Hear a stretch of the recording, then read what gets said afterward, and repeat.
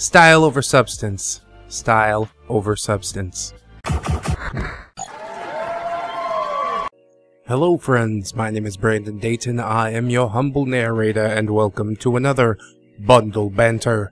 We've got one from Fanatical today, and it is the Quantum Bundle. It doesn't exactly strike me as like the greatest bundle in the world, but it's only $3, so let's go ahead and take a look at the games that are contained within.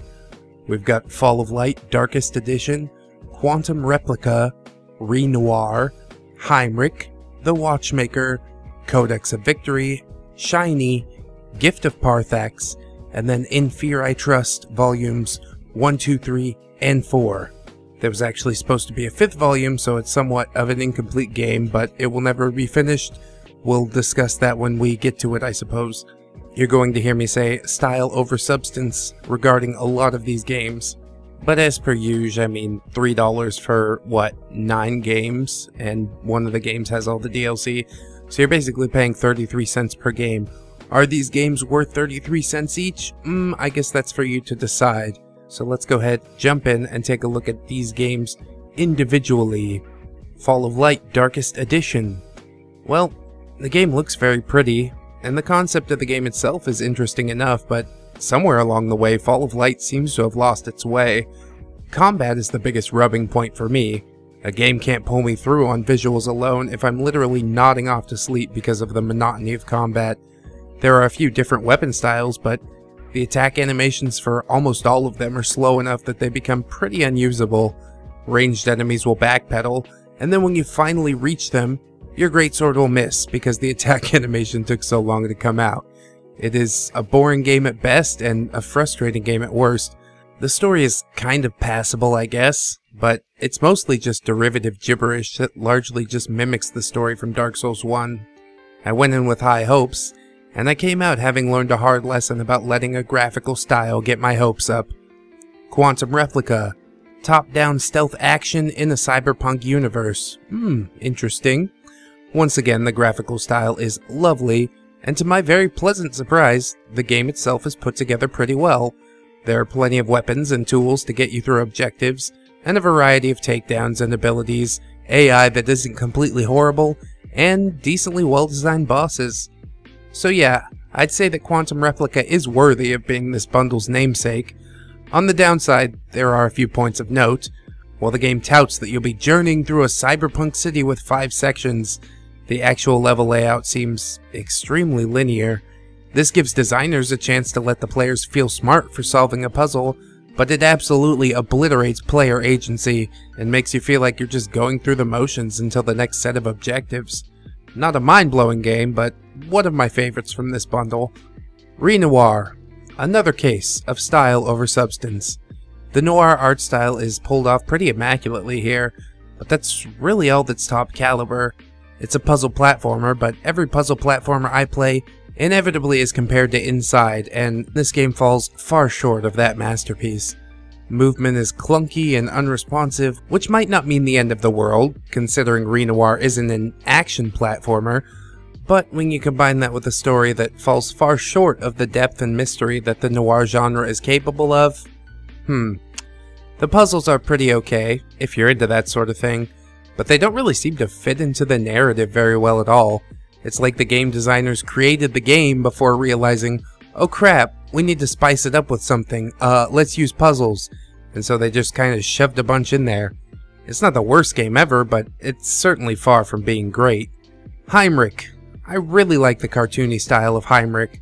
The gore is just another added bonus. The story is fairly basic, but it has a dash of black humor that really manages to pull me in and makes me thirst for more. The puzzles are fairly simple, and they can start to feel a bit repetitive after a while. You're basically using words to solve puzzles, like if there's a wall in the way, you'll need to go stand on the word cannon to summon a cannon to destroy the wall. It's not as clever as something like Baba Is You, but it manages to keep things spicy enough through the animation and the dialogue. The soundtrack loop is a little short, so if you're stuck on the same part, it can begin to grate a little bit. Overall, the good far outweighs the bad in my opinion, and I'd consider this a pretty nice little indie gem. It isn't for everyone, but it managed to hold my attention, and given the amount of games I play in a month, Usually, not recently. it's pretty impressive. The Watchmaker. Steampunk puzzle platformer. Oh, sounds interesting enough, but unfortunately, the game makes the mistake of telling the player when the game is over, no matter how well they perform. Games with timers always get a bad reaction, so I don't know why devs insist on making this mistake over and over again. People want to explore the world that you've created for them, and the pressure of a time limit completely squashes that urge. Of course, even if there was no time limit, there are a lot of other things in place to turn you away from Watchmaker. Poor optimization, terrible camera, severe lack of feedback or direction, Platforming that leans towards difficult for all the wrong reasons, but at least there are puzzles that lead towards difficult for all the right reasons, and it does look pretty okay. They really should have called this the Style over Substance bundle, though. Codex of Victory! Do you like strategy games? Do you like robots? Then you might like Codex of Victory.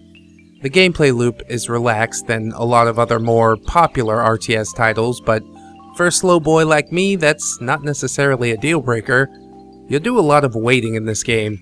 Wait for resources, wait for upgrades, wait for units, but as it turns out, it's pretty worth the wait.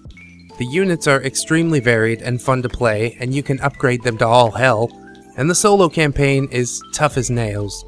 The story's flat and pretty bland, but the tactical combat managed to keep me invested for a decently long time. RTS base building married with turn-based combat actually turns out to make a surprisingly tasty flavor. They could have taken this game a lot further, and they absolutely should have. Playing on the same maps over and over gets boring. I think workshop support for this game would go a heck of a long ways. It's a good title, but it seems to sort of be a victim of its own budget.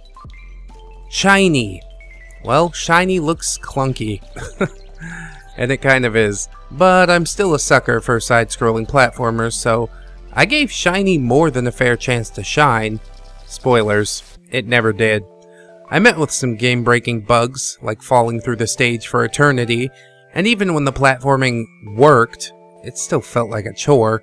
If you can get used to the controls, it becomes an alright experience, but there are so many better indie platformers out there that this one really felt like a waste of time. Half the time I was just sitting there thinking to myself, why aren't you playing Dustforce or Super Meat Boy instead? Extremely basic things like moving and jumping were done sloppily, which which is a death knell for a side-scrolling platformer game. I tried to give it enough time in order for me to see past it. I truly did, because side-scrolling platforming is one of my favorite genres, but this game really does nothing but bastardize that genre. Sad. Probably one of the worst games in the bundle, right next to Watchmaker. Gift of Parthax. The words gladiatorial wizardry are enough to give me a big rubbery one basically instantly, and while I see all the faults with this game, the gameplay is more than enough to help me get over them. This is an arena fighter where you'll beat down waves of enemies with mana-based weapons. Spells and traps abound, which feels great to kill enemies with, and you can even customize your spells a bit. The allure of getting a new spell for winning is a huge, juicy carrot on a stick for me. Yes. But with all that said, the arena is tiny, and your character's pretty slow, so combat feels sluggish. There are enemies everywhere, and you can't really afford to stop moving, but you'll need to stop moving in order to cast, which doesn't make me feel like a clever mage that managed to outthink danger. I just feel like I was trading blows. Kinda why I lost interest in Elder Scrolls Blades too, but that's a story for another video. In Fear I Trust, we're to lump these together because it's basically one game with a bunch of DLC episodes. It's a pretty obvious mobile port, but even considering that, it isn't completely awful. It's a shame then that the story will never actually be finished because the developer discontinued the series with one more entry to go. There are a lot of disjointed little pieces that might have fit into a larger narrative and given me a great aha moment but considering that this series is from the same studio that developed Renoir, I sincerely have my doubts about that. Gameplay is linear, animations are basic, puzzles make less and less logical sense the further you progress into the series. Some people might tout the series as quality psychological horror, read as a story compromised of incomprehensive gobbledygook. Some people seem to enjoy this game, but in my opinion, it's a piece of broken garbage that will sit at the bottom of my Steam library gathering dust for millennia to come. So what do I think of the bundle? Well, if it wasn't quite obvious, not much. Not much at all, dear viewer. uh, for every good game, or for every passable game, there is a bad game to pair alongside it, and it just, it really doesn't lure me in, even though the price point is so super low. I can't bring myself to pull the trigger. The two or three games that I actually want from this bundle are already in my Steam library, and even a couple of ones that I don't want are in my Steam library. so, from best to worst, Gift of Parthax is probably my favorite game in this bundle, although I can recognize the flaws and admit to myself and to you that it is not objectively the best game in this bundle. I'd say objectively the best would be probably Codex of Victory. I really like that one a lot. I will place that in the number 2 slot for my personal taste.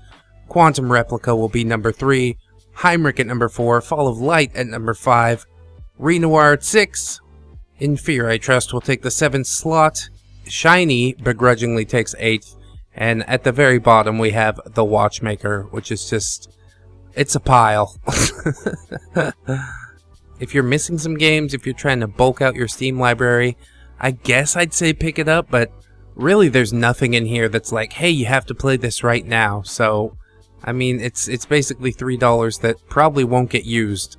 You might take Codex of Victory or Quantum Replica for a spin, but there are so many games out there that do the same thing but better, so I don't understand why you would go for these ones necessarily. So yeah, I'd say this is one of the uh, lesser exciting Fanatical bundles to come out recently. A lot of the games in it looked really good, but then when I got into the nitty gritty, they seem to have fallen apart. So, style over substance. Style over substance. And I'm looking for something substantial, bro. I need the nutrients. but anyways, that's about all I've got to say about this bundle. I hope that you like, comment, and or subscribe if you did enjoy. Check out the links in the description to Twitter, Discord, Patreon. We got giveaways going on the Discord. Big shout out to my patrons, Radimus Cisco, Damon Darkstar, Nico the Legend, my most stalwart ally. We'll keep our fingers crossed for stronger bundles to come, and you guys know that I'll be there to cover it for you.